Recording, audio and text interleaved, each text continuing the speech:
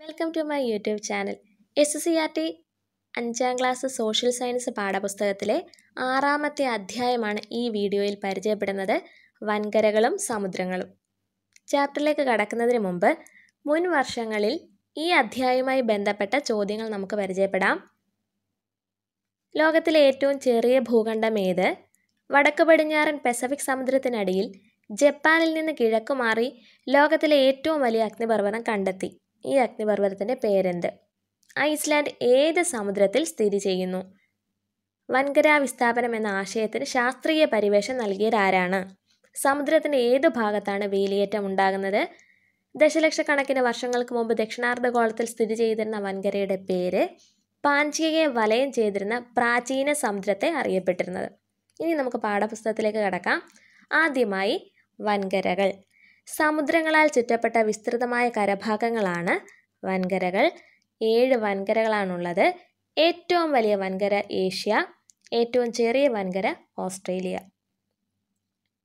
സമുദ്രങ്ങളാൽ ചുറ്റപ്പെട്ട വിസ്തൃതമായ കരഭാഗങ്ങളാണ് വൻകരകൾ. ഏഴ് വൻകരകളാണുള്ളത്. ഏറ്റവും വലിയ വൻകര ഏഷ്യയാണ്. ഏറ്റവും ചെറിയ വൻകര ഓസ്ട്രേലിയ. വൻകരകളെ അവയുടെ വലിപ്പക്രമത്തിൽ പറയുകയാണെങ്കിൽ ഏഷ്യ ആഫ്രിക്ക വടക്കേ അമേരിക്ക തെക്കേ അമേരിക്ക അന്റാർട്ടിക്ക യൂറോപ്പ് ഓസ്ട്രേലിയ. ആദ്യമായി ഏഷ്യ വൻകരയെക്കുറിച്ചുള്ള പോയിന്റുകൾ നമുക്ക് പരിചയപ്പെടാം. ഏറ്റവും വലിയ വൻകരയാണ് ഏഷ്യ. ഇന്ത്യൻ മഹാസമുദ്രത്തിന് വടക്കായി സ്ഥിതി ചെയ്യുന്നു. ലോകത്തിൽ ഏറ്റവും കൂടുതൽ ജനങ്ങൾ താമസിക്കുന്ന വൻകരയാണ് ഏഷ്യ. നമ്മുടെ രാജ്യമായ ഇന്ത്യ ഈ വൻകരയുടെ ഭാഗമാണ്. ലോകത്തിലെ ഏറ്റവും ഉയരം കൂടിയ കൊടുമുടിയായ എവറസ്റ്റ് ഇവിടെ സ്ഥിതി ചെയ്യുന്നു. ധാരാളം മഴ ലഭിക്കുന്ന പ്രദേശങ്ങൾ മഴ തീരെ കുറവായ പ്രദേശങ്ങൾ വർഷം മുഴുവൻ മഞ്ഞ് മൂടിക്കിടക്കുന്ന പ്രദേശങ്ങൾ വളരെ ചൂട് കൂടിയ പ്രദേശങ്ങൾ മിതമായ ചൂടും തണുപ്പുമുള്ള പ്രദേശങ്ങൾ എന്നിങ്ങനെ ഒട്ടനവധി വൈവിധ്യങ്ങൾ ഈ വൻകരയിൽ കാണാം. നെല്ല് ഗോതമ്പ് ചോളം എന്നിങ്ങനെ വിവിധ തരം വിളകൾ ഇവിടെ കൃഷി ചെയ്യുന്നു. ലോകത്തിൽ ഏറ്റവും കൂടുതൽ നെല്ല് ഉൽപ്പാദിപ്പിക്കുന്നത് ഏഷ്യയിലാണ്. പിന്നീട് ഹിമാലയത്തിന് ആ പേര് വന്നത് എന്തുകൊണ്ടാണെന്നാണ് പറഞ്ഞിരിക്കുന്നത്. മൗണ്ട് എവറസ്റ്റ് ഉൾപ്പെടെ നിരവധി കൊടുമുടികൾ ഉൾക്കൊള്ളുന്ന പർവതനിരയാണ്. അവിടെ പല ഭാഗങ്ങളിൽ സ്ഥിരമായി മഞ്ഞ് മൂടി കിടക്കുന്നതിനാലാണ് അതിന് ഹിമാലയം എന്ന പേര് വന്നത്. നമുക്കിനി അഡീഷണൽ പോയിന്റിലേക്ക് പോകാം. ഭൂമിയുടെ ചെറുപതിപ്പ് എന്നറിയപ്പെടുന്ന വൻകരയാണ് ഏഷ്യ. ഭൂമിയിലെ മൊത്തം ജനസംഖ്യയുടെ അറുപത് ശതമാനവും ഏഷ്യയിലാണ്. ഏഷ്യയിലെ നോബൽ സമ്മാനം എന്നറിയപ്പെടുന്ന പുരസ്കാരമാണ് മാക്സസെ പുരസ്കാരം. അത് ഏർപ്പെടുത്തിയ രാജ്യം ഫിലിപ്പൈൻസ് ആണ് ഏഷ്യയുടെ കവാടം എന്നറിയപ്പെടുന്ന രാജ്യമാണ് ഫിലിപ്പൈൻസ്. കോളനി വൽക്കരിക്കാത്ത ഏക ഏഷ്യൻ രാജ്യം തായ്ലൻഡ് ആണ് നമുക്കറിയാം പല വൈവിധ്യങ്ങളുള്ള വൻകരയാണ്. അതുകൊണ്ട് വൈവിധ്യങ്ങളുടെ വൻകര എന്നറിയപ്പെടുന്നത് ഏഷ്യയാണ്. ഏഷ്യയുടെ രോഗി എന്നറിയപ്പെടുന്നത് മ്യാൻമാർ ആണ് ആദ്യമായി ഒളിമ്പിക്സ് നടന്ന ഏഷ്യൻ രാജ്യം ജപ്പാനാണ്. ഏഷ്യയിലെ ഏറ്റവും വ്യാവസായിക പുരോഗതി നേടിയ രാജ്യമാണ് ജപ്പാൻ. കൂടാതെ ലോകത്തിലെ ഏറ്റവും പഴക്കമുള്ള ദേശീയഗാനമുള്ള രാജ്യം ജപ്പാനാണ്. നിപ്പോൺ എന്നറിയപ്പെട്ടിരുന്ന രാജ്യമാണ് ജപ്പാൻ. ഏറ്റവും കൂടുതൽ കടൽത്തീരമുള്ള ഏഷ്യൻ രാജ്യം ഇന്തോനേഷ്യയാണ്. എന്നാൽ ലോകത്തിലേക്കും ഏറ്റവും കൂടുതൽ കടൽത്തീരമുള്ളത് കാനഡയാണ്. ഡച്ച് ഈസ്റ്റ് ഇൻഡീസ് എന്നറിയപ്പെട്ടിരുന്ന രാജ്യം ഇന്തോനേഷ്യയാണ്. ഭൂമധ്യരേഖ കടന്നു പോകുന്ന ഏക ഏഷ്യൻ രാജ്യം ഇന്തോനേഷ്യയാണ്. ഏറ്റവും കൂടുതൽ നാളികേരം ഉൽപ്പാദിപ്പിക്കുന്ന രാജ്യമാണ് ഇന്തോനേഷ്യ. ഇന്തോനേഷ്യയിലെ വിമാന സർവീസ് ഗരുഡ എന്നാണ് അറിയപ്പെടുന്നത്. നമുക്ക് ഒന്നുകൂടെ പ്രധാന പോയിന്റിലേക്ക് പോകാം. ഏഷ്യയെക്കുറിച്ചാണ് പറയുന്നത്. ഏറ്റവും വലിയ വൻകരയാണ് ഏഷ്യ. ഇന്ത്യൻ മഹാസമുദ്രത്തിന് വടക്കായി സ്ഥിതി ചെയ്യുന്നു. ലോകത്തിലെ ഏറ്റവും കൂടുതൽ ജനങ്ങൾ താമസിക്കുന്ന വൻകരയാണ് ഏഷ്യ. അതായത് ഭൂമിയിലെ മൊത്തം ജനസംഖ്യയുടെ അറുപത് ശതമാനവും ഏഷ്യയിലാണ്. ഭൂമിയുടെ ചെറുപതിപ്പ് എന്നറിയപ്പെടുന്നു ഏഷ്യയെ. ഏഷ്യയുടെ നോബൽ സമ്മാനം എന്നറിയപ്പെടുന്ന പുരസ്കാരം മാക്സസെ പുരസ്കാരമാണ്. മാക്സസെ പുരസ്കാരം ഏർപ്പെടുത്തിയ രാജ്യം ഫിലിപ്പൈൻസ് ആണ്. ഏഷ്യയുടെ കവാടം എന്നറിയപ്പെടുന്ന രാജ്യമാണ് ഫിലിപ്പൈൻസ്. ഏഷ്യയുടെ കവാടം എന്നറിയപ്പെടുന്ന രാജ്യം ഫിലിപ്പൈൻസ്. വൈവിധ്യങ്ങളുടെ വൻകര എന്നറിയപ്പെടുന്നത് ഏഷ്യയാണ് കോളനിവൽക്കരിക്കാത്ത ഏക ഏഷ്യൻ രാജ്യം തായ്ലൻഡാണ്. ഏഷ്യയുടെ രോഗി എന്നറിയപ്പെടുന്നത് മ്യാൻമാർ. അപ്പോൾ ഏഷ്യയുടെ കവാടം എന്നറിയപ്പെടുന്ന രാജ്യം ഫിലിപ്പൈൻസ് ആണ്. ഏഷ്യയുടെ രോഗി എന്നറിയപ്പെടുന്നത് മ്യാൻമാർ ആണ്. ആദ്യമായി ഒളിമ്പിക്സ് നടന്ന ഏഷ്യൻ രാജ്യം ജപ്പാനാണ് നിപ്പോൺ എന്നറിയപ്പെട്ടിരുന്ന രാജ്യമാണ് ജപ്പാൻ.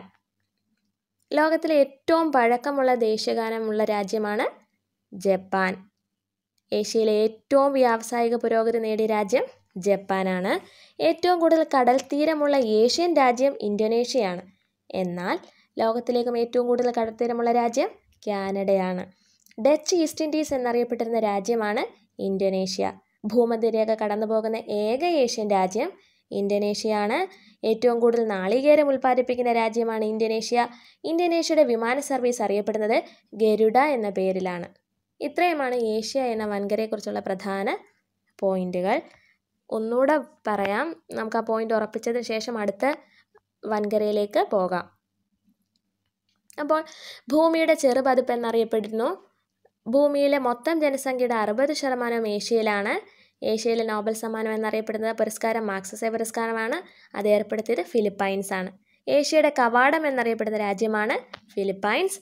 വൈവിധ്യങ്ങളുടെ വൻകര എന്നറിയപ്പെടുന്നതും ഏഷ്യയെ തന്നെയാണ്. കോളനിവൽക്കരിക്കാത്ത ഏക ഏഷ്യൻ രാജ്യമാണ് തായ്ലാൻഡ്. ഏഷ്യയുടെ രോഗി എന്നറിയപ്പെടുന്നത് മ്യാൻമാറാണ്. ആദ്യമായി ഒളിമ്പിക്സ് നടന്ന ഏഷ്യൻ രാജ്യം ജപ്പാൻ. ഏഷ്യയിലെ ഏറ്റവും വ്യാവസായിക പുരോഗതി നേടിയ രാജ്യമാണ് ജപ്പാൻ. ലോകത്തിലെ ഏറ്റവും പഴക്കമുള്ള ദേശീയ ഗാനമുള്ള രാജ്യം ജപ്പാൻ തന്നെയാണ്. നിപ്പോൺ എന്നറിയപ്പെട്ടിരുന്ന രാജ്യമാണ് ജപ്പാൻ. ഏറ്റവും കൂടുതൽ കടൽ തീരമുള്ള ഏഷ്യൻ രാജ്യം ഇന്തോനേഷ്യയാണ്. എന്നാൽ ലോകത്തിലേക്കും ഏറ്റവും കൂടുതൽ കടൽ തീരമുള്ളത് കാനഡയ്ക്കാണ്. ഡച്ച് ഈസ്റ്റ് ഇൻഡീസ് എന്നറിയപ്പെട്ടിരുന്ന രാജ്യമാണ് ഇന്തോനേഷ്യ. ഭൂമധ്യരേഖ കടന്നു പോകുന്ന ഏക ഏഷ്യൻ രാജ്യമാണ് ഇന്തോനേഷ്യ. ഇന്തോനേഷ്യയിലാണ് ഏറ്റവും കൂടുതൽ നാളികേരം ഉൽപ്പാദിപ്പിക്കുന്നത് ഇന്തോനേഷ്യയുടെ വിമാന സർവീസ് ഗരുഡ എന്ന പേരിലാണ് അറിയപ്പെടുന്നത്.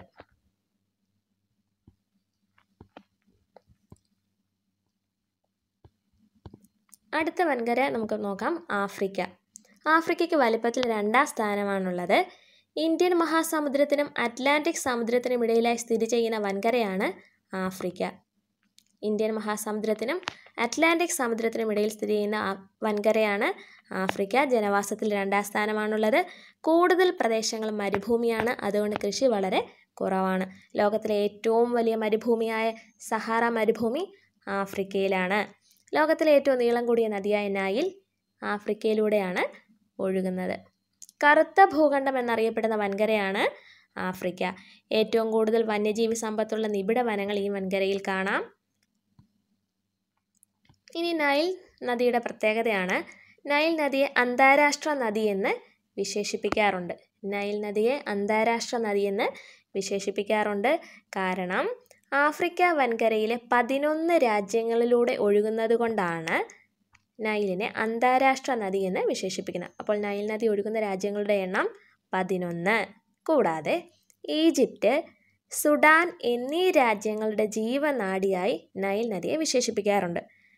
ഈജിപ്റ്റ് നമ്മൾ ഓർക്കും സുഡാൻ എന്ന രാജ്യത്തിന്റെ ജീവനാടിയും നൈൽ നദി തന്നെയാണ്. അപ്പോൾ നമുക്ക് ആഫ്രിക്കയുമായി ബന്ധപ്പെട്ട പ്രധാന പോയിന്റിലേക്ക് കടക്കാം.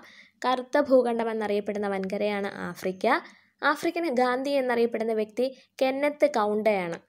ആഫ്രിക്കൻ ഗാന്ധി എന്നറിയപ്പെടുന്ന വ്യക്തി കെന്നത്ത് കൗണ്ടയാണ്. ഏറ്റവും കൂടുതൽ രാജ്യങ്ങളുള്ള ഭൂഖണ്ഡമാണ് ആഫ്രിക്ക. ആഫ്രിക്കയിലെ ഏറ്റവും വലിയ രാജ്യം അൾജീരിയയാണ്. ആഫ്രിക്കയിലെ ഏറ്റവും വലിയ രാജ്യം അൾജീരിയയാണ്. ഇന്ത്യൻ മഹാസമുദ്രത്തിനും അറ്റ്ലാന്റിക് സമുദ്രത്തിനും ഇടയിൽ സ്ഥിതി ചെയ്യുന്ന വൻകരയാണ് ആഫ്രിക്ക.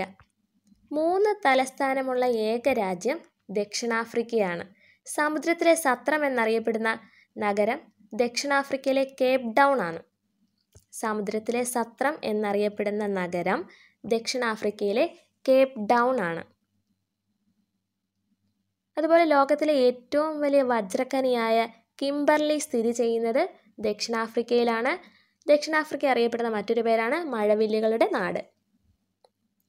അപ്പോൾ മൂന്ന് തലസ്ഥാനമുള്ള ഏകരാജ്യം ദക്ഷിണാഫ്രിക്കയാണ്. സമുദ്രത്തിലെ സത്രം എന്നറിയപ്പെടുന്ന കേപ്പ് ഡൗൺ എന്ന നഗരം ദക്ഷിണാഫ്രിക്കയിലാണ്. ലോകത്തിലെ ഏറ്റവും വലിയ വജ്രക്കനിയായ കിംബർലി ദക്ഷിണാഫ്രിക്കയിലാണ്. ദക്ഷിണാഫ്രിക്ക അറിയപ്പെടുന്ന മറ്റൊരു പേരാണ് മഴവില്ലുകളുടെ നാട്. ആഫ്രിക്കയുടെ ഹൃദയം ബെറുണ്ടിയാണ്. ആഫ്രിക്കയുടെ ഹൃദയം ബെറുണ്ടി. ആഫ്രിക്കയുടെ നിലച്ച ഹൃദയം ചാട് ആഫ്രിക്കയുടെ നിലച്ച ഹൃദയം എന്നറിയപ്പെടുന്ന രാജ്യം ചാഡ് ആഫ്രിക്കയുടെ വിജാഗിരി എന്നറിയപ്പെടുന്നത് ആണ്. ആഫ്രിക്കയുടെ വിജാഗിരി എന്നറിയപ്പെടുന്നത് ആണ്. ആഫ്രിക്കയുടെ കൊമ്പ് എന്നറിയപ്പെടുന്ന രാജ്യം സൊമാലിയ. ആഫ്രിക്കയുടെ കൊമ്പ് എന്നറിയപ്പെടുന്ന രാജ്യം സൊമാലിയാണ് ഒരിക്കലും ഉറങ്ങാത്ത നഗരം എന്നറിയപ്പെടുന്നത് ഈജിപ്തിന്റെ തലസ്ഥാനമായ കെയ്റോ ആണ്. ആഫ്രിക്കയിൽ ഏറ്റവും കൂടുതൽ ജനസംഖ്യയുള്ള നഗരമാണ് കെയ്റോ. ഒരിക്കലും ഉറങ്ങാത്ത നഗരം എന്നറിയപ്പെടുന്നത് കെയ്റോ. ഭൂമധ്യരേഖ ഉത്തരായന രേഖ ദക്ഷിണായന രേഖ എന്നിവ കടന്നു പോകുന്ന ഏക ഭൂഖണ്ഡമാണ് ആഫ്രിക്ക. ഭൂമധ്യരേഖ ഉത്തരായന രേഖ ദക്ഷിണായന രേഖ എന്നിവ കടന്നു പോകുന്ന ഏക ഭൂഖണ്ഡമാണ് ആഫ്രിക്ക. ലോകത്തിലെ ഏറ്റവും കൂടുതൽ മരച്ചീനി ഉൽപ്പാദിപ്പിക്കുന്ന രാജ്യമാണ് നൈജീരിയ. ലോകത്തിലെ ഏറ്റവും കൂടുതൽ മരച്ചീനി ഉൽപ്പാദിപ്പിക്കപ്പെടുന്ന രാജ്യമാണ് നൈജീരിയ.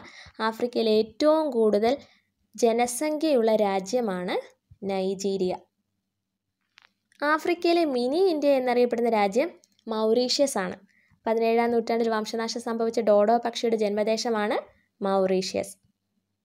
നമുക്ക് ആഫ്രിക്കയെക്കുറിച്ചുള്ള പോയിന്റുകൾ ഒന്നുകൂടെ നോക്കാം. കറുത്ത ഭൂഖണ്ഡം എന്നറിയപ്പെടുന്ന രാ വൻകരയാണ് ആഫ്രിക്ക. കറുത്ത ഭൂഖണ്ഡം എന്നറിയപ്പെടുന്ന വൻകരയാണ് ആഫ്രിക്ക. ആഫ്രിക്കൻ ഗാന്ധി എന്നറിയപ്പെടുന്ന വ്യക്തി കെന്നത്ത് കൗണ്ടയാണ്. ഏറ്റവും കൂടുതൽ രാജ്യങ്ങളുള്ള ഭൂഖണ്ഡമാണ് ആഫ്രിക്ക.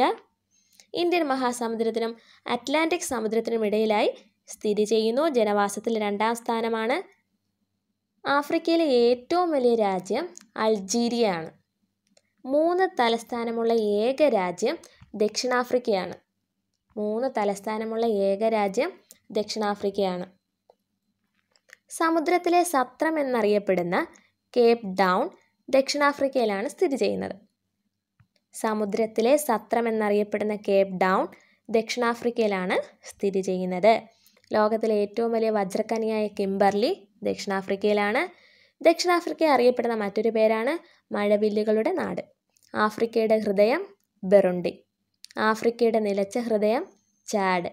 ആഫ്രിക്കയുടെ വിജാഗിരി ക്യാമറൂൺ ആഫ്രിക്കയുടെ കൊമ്പ് സൊമാലിയ. ഒന്നുകൂടെ നോക്കാം. ആഫ്രിക്കയുടെ ഹൃദയം ബെറുണ്ടി. ആഫ്രിക്കയുടെ നിലച്ച ഹൃദയം ചാഡ്. ആഫ്രിക്കയുടെ വിജാഗിരി കാമറൂൺ. ആഫ്രിക്കയുടെ കൊമ്പെന്നറിയപ്പെടുന്ന രാജ്യം സൊമാലിയ.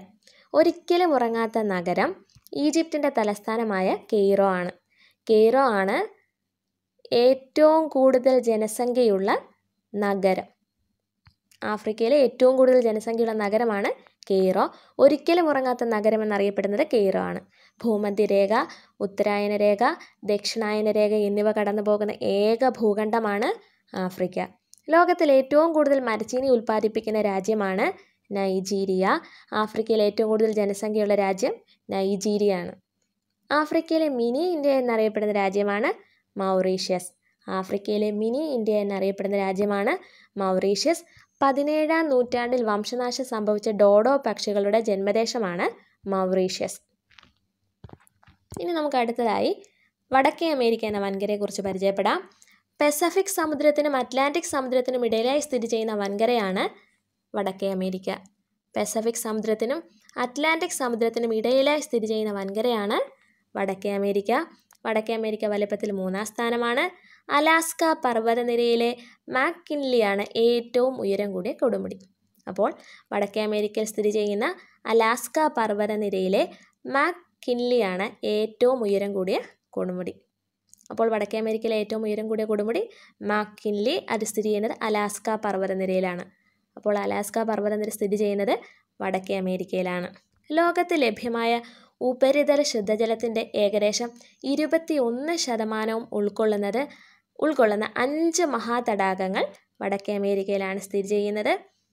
പ്രധാന പോയിന്റ് നമുക്കിനി അടുത്ത് ഇതിനോടൊപ്പം തന്നെ പറയാം. മഞ്ഞു മൂടിക്കിടക്കുന്ന പ്രദേശത്ത് താമസിക്കുന്ന എക്സിമോകൾ അല്ലെങ്കിൽ ഇന്യൂട്ടുകൾ ഇവിടുത്തെ പ്രത്യേകതകളാണ്. അപ്പോൾ എക്സിമോകളുടെ മറ്റൊരു പേരാണ് ഇന്യൂട്ടുകൾ. മഞ്ഞു മൂടിക്കിടക്കുന്ന പ്രദേശത്ത് താമസിക്കുന്ന ആളുകളെ വിളിക്കുന്ന പേരാണ് എക്സിമോകൾ. കാലാവസ്ഥയും മണ്ണും കൃഷിക്ക് അനുയോജ്യമാണ്. ലോകത്തെ ഏറ്റവും കൂടുതൽ ഗോതമ്പ് ഉൽപ്പാദിപ്പിക്കുന്നത് വടക്കേ അമേരിക്കയിലാണ്. ലോകത്ത് ഏറ്റവും കൂടുതൽ ഗോതമ്പ് ഉൽപ്പാദിപ്പിക്കുന്നത് വടക്കേ അമേരിക്കയിലാണ്. ഇനി പ്രധാന പോയിന്റിലേക്ക് നമുക്ക് കടക്കാം. വടക്കേ അമേരിക്കയിലെ ഏറ്റവും വലിയ രാജ്യം കാനഡയാണ്. കാനഡയുടെ തലസ്ഥാനം ഒട്ടാവ. ഏറ്റവും കൂടുതൽ തടാകങ്ങളുള്ള രാജ്യവും കാനഡയാണ്. ലോകത്തിലെ ഏറ്റവും കൂടുതൽ കടൽത്തീരമുള്ള രാജ്യവും കാനഡയാണ്. ഇവിടെ നമ്മൾ പറഞ്ഞായിരുന്നു ലോകത്ത് ശുദ്ധമായ ഉപരിതല ജല ഉപരിതല ശുദ്ധജലത്തിന്റെ ഇരുപത്തിയൊന്ന് ശതമാനവും ഉൾക്കൊള്ളുന്ന അഞ്ച് മഹാതടാകങ്ങൾ ഇവിടെയുണ്ട്. പഞ്ചമഹാതടാകങ്ങൾ സ്ഥിതി ചെയ്യുന്നത് യു എസ് എയിലും കാനഡയിലുമാണ്. വടക്കേ അമേരിക്കയിൽ സ്ഥിതി ചെയ്യുന്ന മറ്റൊരു പർവതനിരയാണ് റോക്കീസ് പർവതനിര. അലാസ്ക പർവതനിര പറഞ്ഞു. അതുകൂടാതെ വടക്കേ അമേരിക്കയിൽ സ്ഥിതി ചെയ്യുന്ന മറ്റൊരു പർവതനിരയാണ് റോക്കീസ്. വടക്കേ അമേരിക്കയിലെ റോക്കി പർവതനിരയിലെ കിഴക്കൻ ചെരുവിലൂടെ വീശുന്ന കാറ്റാണ് ചിനോക്ക്. ഹിമഭോജി എന്നറിയപ്പെടുന്ന പ്രാദേശിക വാദമാണ് ചിനോക്ക്. ഹരിത വിപ്ലവം ആരംഭിച്ച രാജ്യമാണ് മെക്സിക്കോ. ലോകത്തിന്റെ സംഭരണശാല എന്നറിയപ്പെടുന്നത് മെക്സിക്കോയാണ് അപ്പോൾ ലോകത്ത് ഹരിത വിപ്ലവം ആരംഭിച്ചത് മെക്സിക്കോയിലാണ്. ലോകത്തിന്റെ സംഭരണശാല എന്നറിയപ്പെടുന്നത് മെക്സിക്കോയാണ്. വാനില ചോളം പേരയ്ക്ക മധുരക്കിഴങ്ങ് എന്നിവയുടെ ജന്മദേശമാണ് മെക്സിക്കോ. അഞ്ചാം ക്ലാസ് ബേസിക് സയൻസിന് നമ്മൾ അടുത്ത ചർച്ച ചെയ്യാനുള്ള ചാപ്റ്ററിൽ ഒന്ന് രണ്ട് ഭക്ഷ്യവിളകളും അവയുടെ ജന്മദേശവും പഠിക്കാനുണ്ട്. അവിടെ പറയുന്നുണ്ട് പേരയ്ക്ക വാനില എന്നിവയുടെ ജന്മദേശം അമേരിക്കയാണെന്നാണ് വടക്കേ അമേരി അമേരിക്ക എന്നാണ് പറയുന്നത്. ഇവിടെ നമ്മൾ സ്പെസിഫിക് ആയിട്ട് പറയുന്നുണ്ട് വാനില ചോളം പേരയ്ക്ക മധുരക്കിഴങ്ങ് എന്നിവയുടെ ജന്മദേശം മെക്സിക്കോയാണ്. അപ്പോൾ വടക്കേ അമേരിക്കയിലെ ഏറ്റവും വലിയ രാജ്യം കാനഡയാണ്. കാനഡയുടെ തലസ്ഥാനം ഒട്ടാവ. ഏറ്റവും കൂടുതൽ തടാകങ്ങളുള്ള രാജ്യമാണ് കാനഡ. ഏറ്റവും കൂടുതൽ കടൽത്തീരമുള്ള രാജ്യമാണ് കാനഡ. പഞ്ചമഹാതടാകങ്ങൾ സ്ഥിതി ചെയ്യുന്നത് യു എസ് എയിലും കാനഡയിലുമാണ്. റോക്കീസ് പർവതനിര സ്ഥിതി ചെയ്യുന്നത് വടക്കേ അമേരിക്കയിലാണ്. വടക്കേ അമേരിക്കയിലെ റോക്കീസ് പർവതനിരയിലെ കിഴക്കൻ ചെരുവിലൂടെ വീശുന്ന കാറ്റാണ് ചിനൂക്ക്. ഹിമഭോജി എന്നറിയപ്പെടുന്ന പ്രാദേശിക വാദമാണ് ചിനൂക്ക്. ലോകത്തിലെ ഹരിത വിപ്ലവം ആരംഭിച്ചത് മെക്സിക്കോയിലാണ്. ലോകത്തിന്റെ സംഭരണശാല എന്നറിയപ്പെടുന്നത് മെക്സിക്കോയാണ്.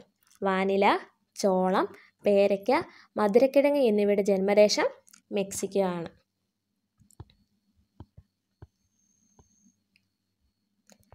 പിന്നീട് വടക്കേ അമേരിക്കയുമായി ബന്ധപ്പെട്ട് എക്സിമോകൾ തണുപ്പ് കാലത്ത് താൽക്കാലികമായി മഞ്ഞുകട്ടകൾ കൊണ്ട് നിർമ്മിക്കുന്ന വീടിന്റെ ഡയഗ്രം കൊടുത്തിട്ടുണ്ട്. ഈ വീടുകൾ ഇഗ്ലു എന്ന പേരിലാണ് അറിയപ്പെടുന്നത്. അപ്പോൾ മഞ്ഞ് പ്രദേശത്ത് താമസിക്കുന്ന ആളുകളാണ് എക്സിമോകൾ അഥവാ ഇന്യൂട്ടുകൾ അവർ മഞ്ഞുകട്ടകൾ കൊണ്ട് താൽക്കാലികമായി നിർമ്മിക്കുന്ന വീടുകളെ അറിയപ്പെടുന്നത് ഇഗ്ലു എന്നാണ്. ഇനിയും വടക്കേ അമേരിക്കയിലെ കാനഡ യു എസ് എ എന്നീ രാജ്യങ്ങളിലാണല്ലോ പഞ്ചമഹാ തടാകങ്ങൾ സ്ഥിതി ചെയ്യുന്നത്.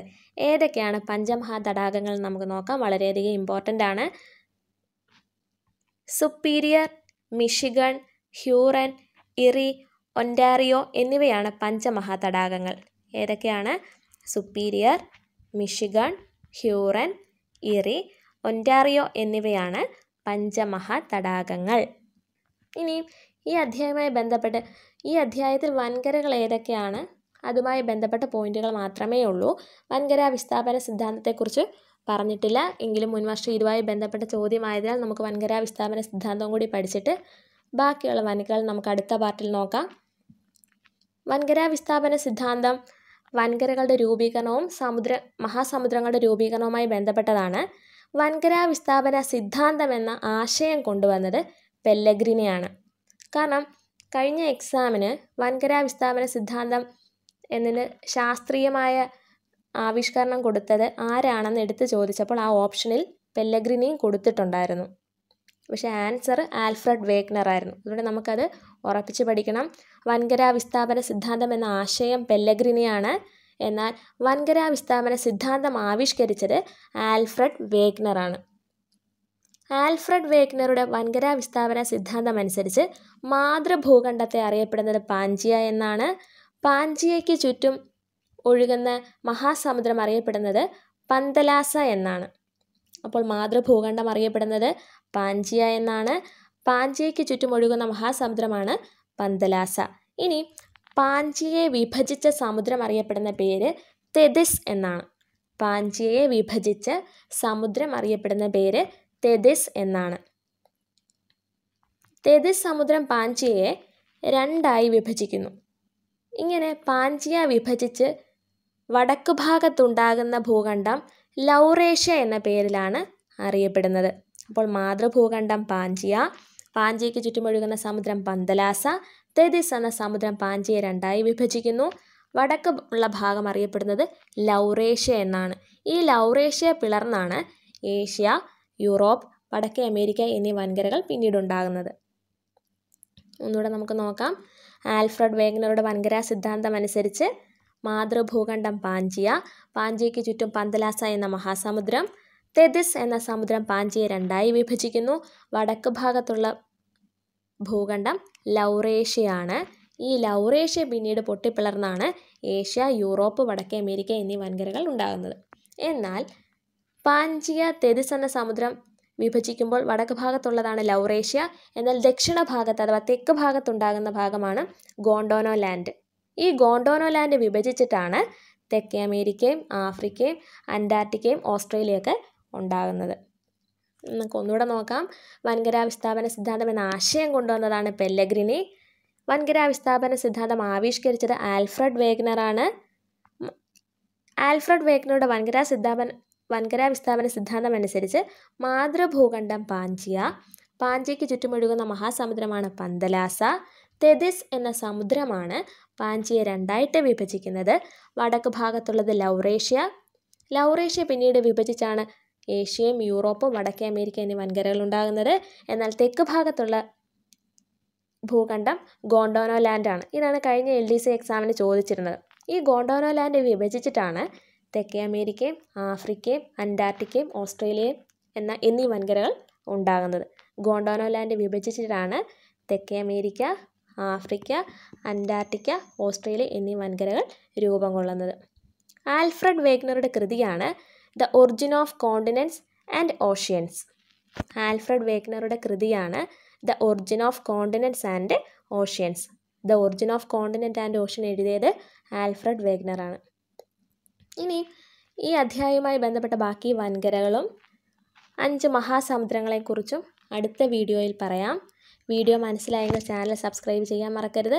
നോട്ടിഫിക്കേഷൻ ബെല്ലൈക്കൺ പ്രസ് ചെയ്യണം. എങ്കിൽ മാത്രമേ അടുത്ത വീഡിയോ ഇടുമ്പോൾ നിങ്ങൾക്ക് നോട്ടിഫിക്കേഷൻ കിട്ടുകയുള്ളൂ.